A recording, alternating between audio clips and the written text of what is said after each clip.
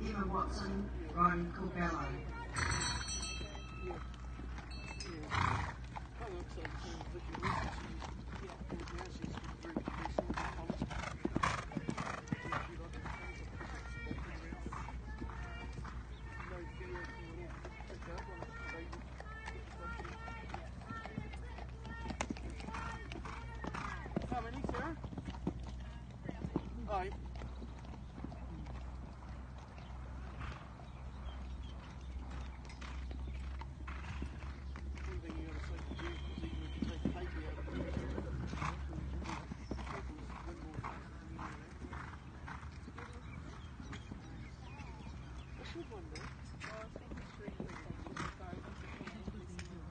Yeah.